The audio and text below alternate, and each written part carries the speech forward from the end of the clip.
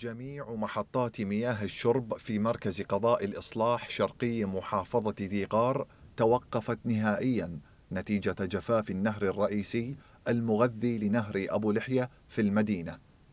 جفاف نهر أبو لحية في قضاء الإصلاح يهدد ستين ألفا من سكان المنطقة بكارثة بيئية كما أن جفاف النهر حول هور أبو زرق في الأشهر الماضية إلى صحراء قاحلة بعد تراجع مناسيب المياه في نهر أبو لحية الذي يتغذى من نهر دجلة فيما بدأ متظاهرون في ذي غار اعتصاما مفتوحا أمام إحدى الدوائر الحكومية في الناصرية للمطالبة بإنقاذ نهر أبو لحية.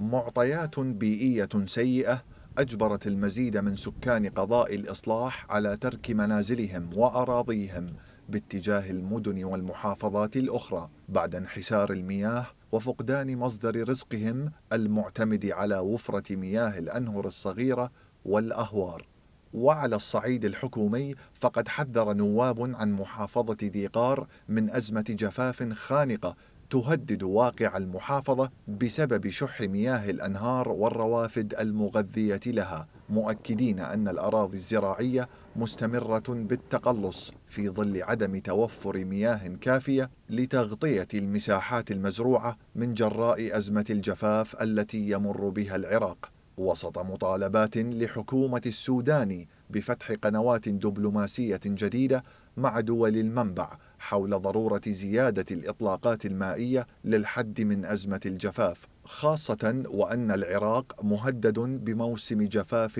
رابع من نوعه.